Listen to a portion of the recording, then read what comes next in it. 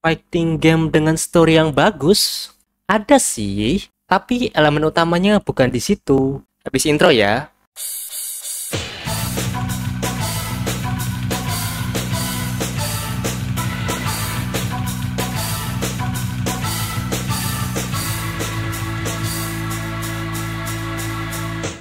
Setelah aku menonton podcast Triple KO Maximilian Dot, Justin Wong, Matt and Maskell, dan Torgi Arcade, aku kepikiran bahas ini. Seberapa penting sih lore di fighting game itu?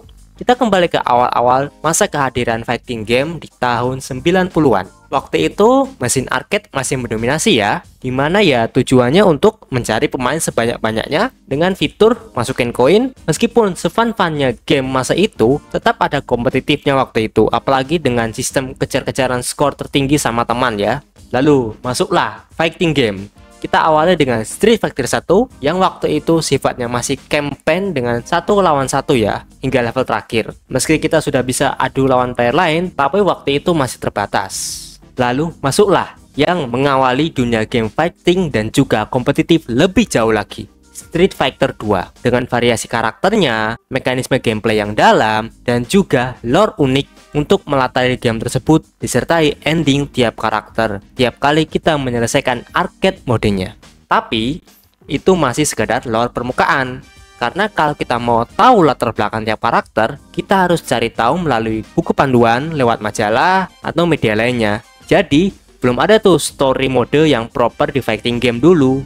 Berkat pengaruh dari Street Fighter 2 ini, maka game-game fighting lainnya juga mulai bangkit dengan variasi story mereka masing-masing. Salah satu inspirasi cerita fighting game bertema turnamen kebanyakan dari sebuah film garapan Bruce Lee yang berjudul Enter the Dragon. Ketika sejumlah orang diundang untuk menghadiri turnamen bela diri untuk bertarung hingga melawan bos terakhir. Jadinya, pasti kerasa fighting game ceritanya itu-itu aja. Petarung berkumpul, saling bertarung, mengalahkan bos, dan selesai.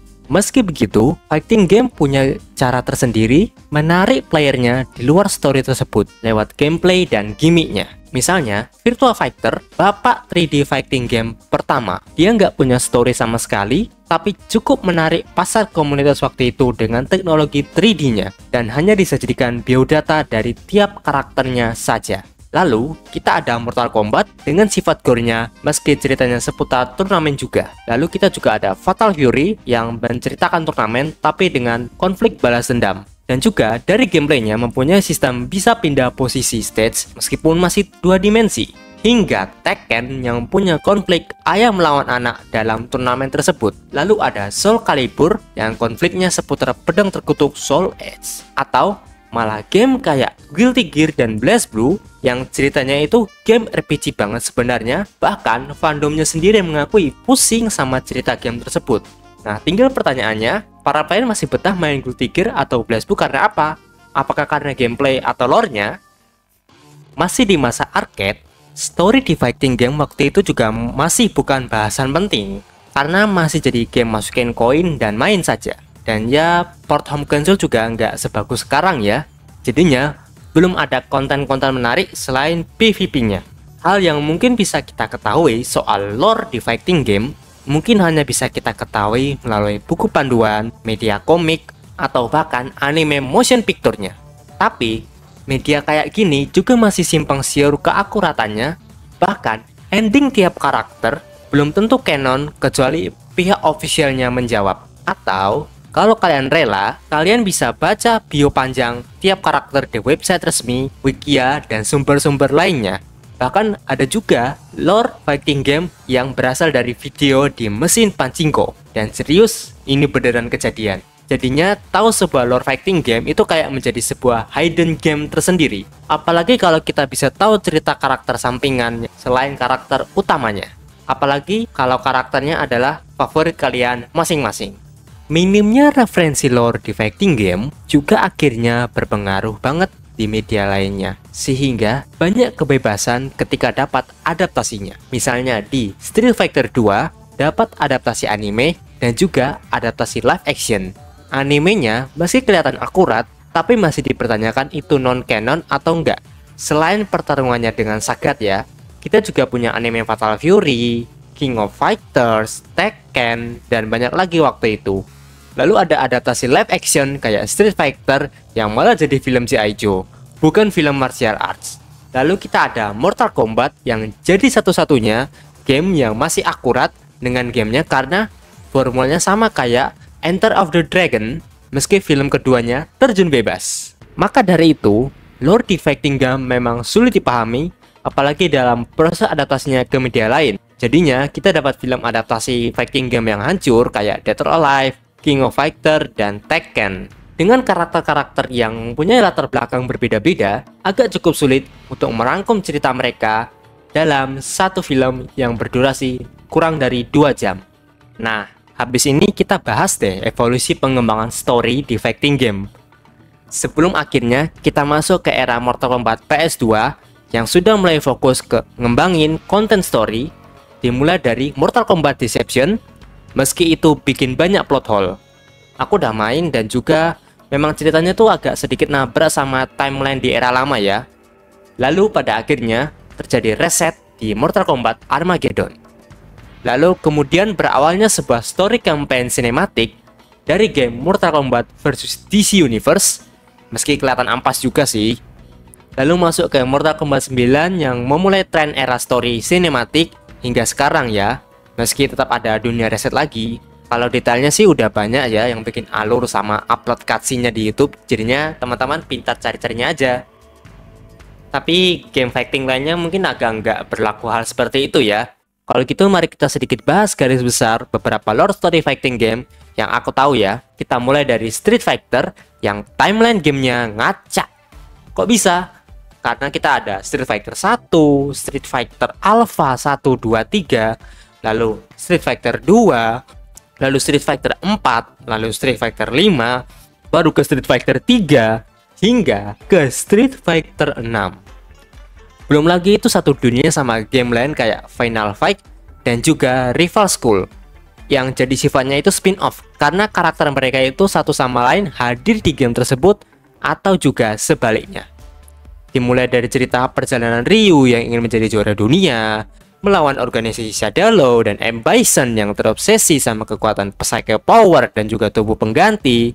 Lalu cerita karakter clone yang ada di gamenya yang jadi bos ampas.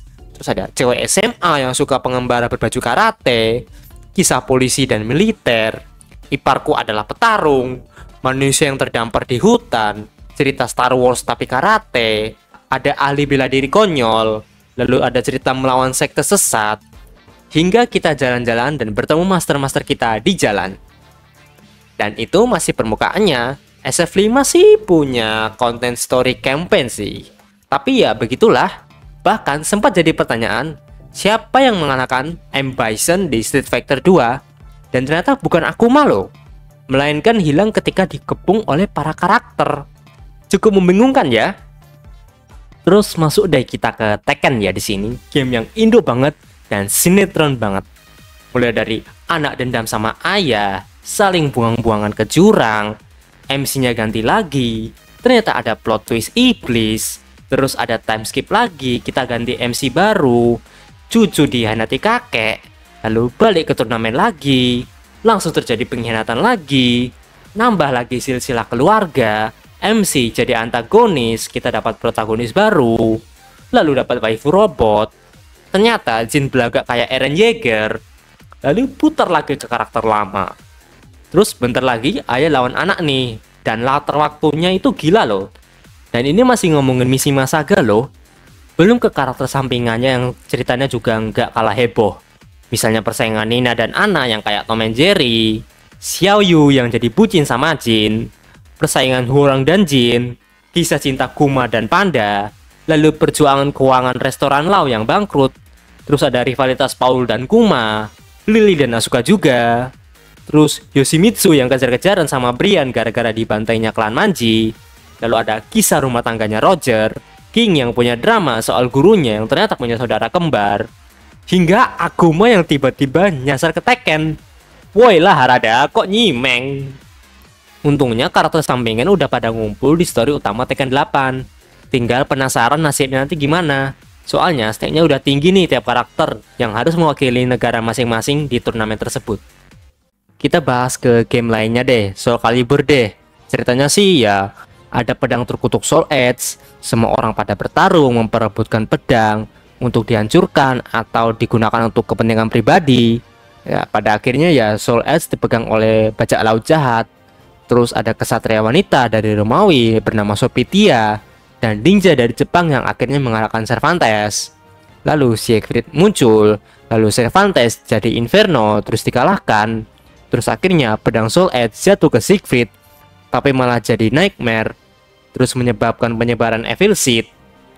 Terus di Soul Calibur 1 ada MC baru, Kilik, Xianghua, dan Maxi mengalahkan Nightmare. Secret lepas, tapi masih ada sisa dari pedang terkutuk tersebut. Dan butuh cerita panjang sehingga ada seorang Raphael yang membebaskan Siegfried setelah menantang wujud Nightmare-nya. Kemudian Siegfried menggunakan Soul Calibur dan menyegel Soul Edge. Terus ada lagi di event Soul Calibur 3, Soul Calibur 4, lalu ada Soul Calibur 5. Yang Soul Calibur 5-nya sayang sekali kurang banget ya.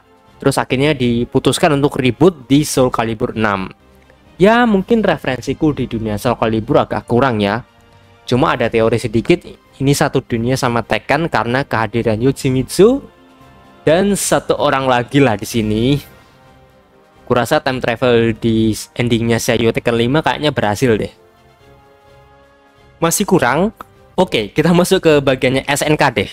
Kita masuk ke Fatal Fury dulu. Lah, kok bukan King of Fighters? Ini gamenya ada turnamen namanya King of Fighter, sedangkan yang satunya itu The King of Fighter dan sifatnya crossover dan punya cerita tersendiri ya. Ceritanya berprogres mengenai kota korup Southtown yang di mana pemimpinnya Keith Howard mengadakan turnamen tahunan King of Fighters. MC kita, Terry Bogard, Andy Bogard, yang mau balas dendam karena kematian ayahnya bersama Joe Higashi ikut turnamen dan berhasil mengalahkan Giz. Di Fatal Fury 2, Giz punya saudara tiri, Wolfgang Krauser, lalu ada turnamen lagi, tapi dengan peserta yang lebih banyak. Masuk ke Fatal Fury 3, malah ceritanya jadi rebut-rebutan golongan kuno. Masuk lagi ke real buat Fatal Fury, jadi final showdown antara Terry dan Giz yang akhirnya secara canon Giz dipastikan tewas di dunia Fatal Fury ya. Selesai? Kita punya Art of Fighting trilogi yang setting waktunya 5-10 tahun sebelum Fatal Fury dengan MC Ryo Zagasaki dan Robert Gracia dan juga awal mula Giz Howard membangun kekuasaannya. Apakah selesai? Oh tidak. Kita punya lagi sequel dari Fatal Fury yang MC-nya adalah anak dari Giz Howard yaitu Rock Howard, salah satu idolaku juga ya dengan Terry Bogard yang sudah tua sebagai mentornya. Di mana ada turnamen si Rock Howard menemukan misteri masa lalunya dan menggantung sampai sekarang. Makanya sekarang aku lagi nunggu Fatal Fury City of the Wolves yang udah ditis di EVO 2023 kemarin. Dan ya, itu baru satu franchise dari SNK ya guys. Cukuplah ya bahasan untuk beberapa stand alone-nya. Oke, kita masuk ke fighting game crossover nih. Kayak apa? Marvel vs Capcom. Diawali dari X-Men Children of the Atom. Terus ada masuk Marvel Super Heroes.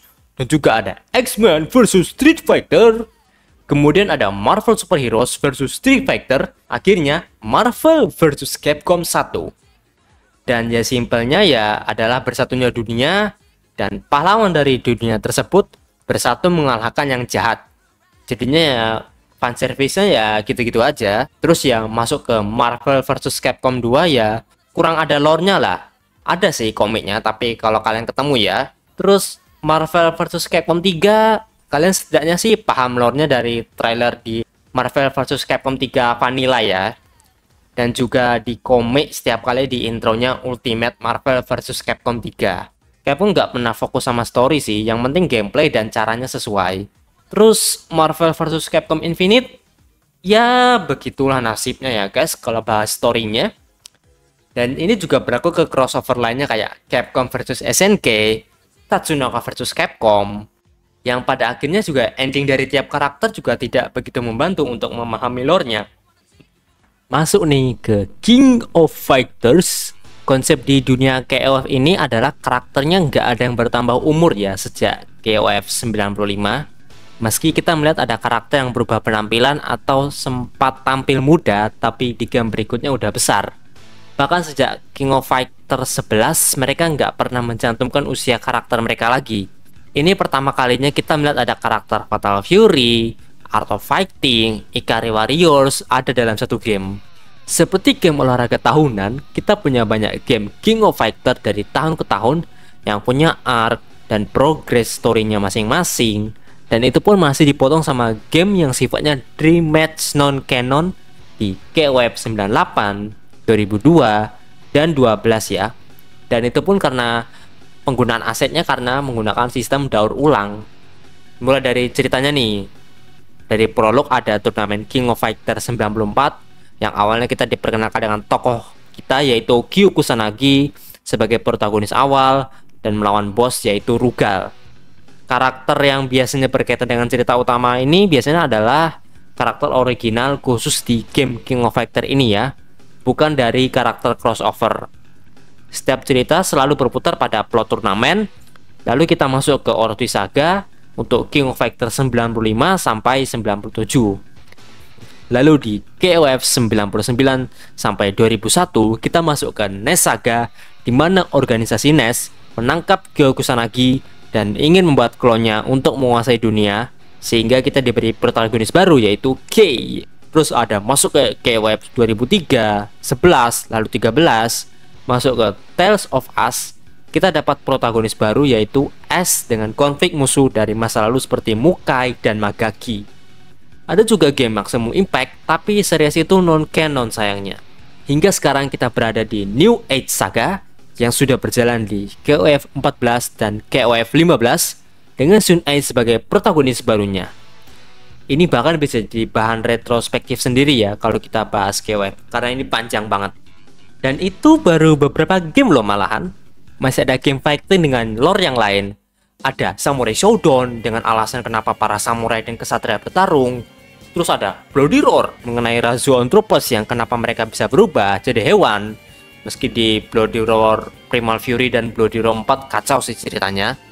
Terus ada Killer Instinct ya. Terus ada versi rebootnya juga ada yang versi 2013. Atau bahkan Blaze Blue. Ceritanya sudah gila bahkan lebih pusing daripada Kingdom Hearts. Guild 3 juga begitu karena ceritanya sudah RPG banget yang awalnya pertarungan ribuan tahun melawan robot magic tapi memang masih tidak sepusing Blaze Blue ya. Bahkan Torgi Arcade mengakui Blaze Blue punya cerita yang memusingkan ketika mau membuat retrospektifnya. Kalau kalian mau mengetahui lore dari game Arc System Work, siap-siap aja dengan teks yang banyak ala game visual novel. Terus ngomongin RPG kita ada Grand Blue yang punya original sendiri ya di fighting gamenya. Tapi ya penting gak penting karena teman-teman kalau mau ambil fighting gamenya ya atau mau RPG-nya ya silahkan bebas. Karena game fighting yang diadaptasi dari IP lain seharusnya punya lore yang bisa berdiri sendiri kayak Dragon Ball Fighter Z. Jadinya ya memang urusan lore ini memang masih penting gak penting sih dalam fighting game. Dengan perkembangan game sekarang, fighting game sudah bisa membuat cutscene sinematik untuk bisa menikmati lore dari fighting game tersebut tanpa harus mencari referensi lainnya. Tapi ini juga jadi masalah. Kita mau tidak mau harus mengikuti progres karakter yang tidak kita kuasai bila ingin melanjutkan progres story-nya. Yang anggapanku sih cukup penyiksaan ya selama progresnya, apalagi kalau karakternya jarang kita pakai. Dan ya, dasaran konfliknya buat gameplay ya dangkal aja kalau ada tiap segmen berantem ya namanya juga game fighting kecuali mereka punya gimmick khusus di storynya atau mungkin ada interaksi kayak quick time event malah.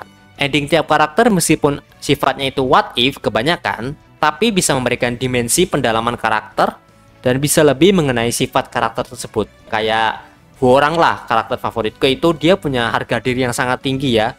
Khususnya dalam rivalitasnya dengan Jin dan dia juga ingin bersikap adil ya. Jadinya menolak kekuatan iblis pas endingnya itu di Tekken 6 aku lebih suka story yang berfokus pada satu karakter. Jadinya nggak kaget ya kalau tiap kali ganti chapter. Tapi ya selalu ingat guys. Kalau kita main fighting game cuma buat jadi konten story doang agak rugi soalnya. Ketika kita diberi konten banyak buat multiplayer. Story bagus belum tentu gameplay bagus. Apalagi kalau kita melibatkan banyak karakter yang di mana playtime story-nya itu nggak sampai 2 jam jadi apakah kalian merasa story di fighting game adalah hal yang utama? Coba tulis di kolom komentar. Aku Hanu Pradityo di sini. Salam FGC dan sampai jumpa di video-video berikutnya.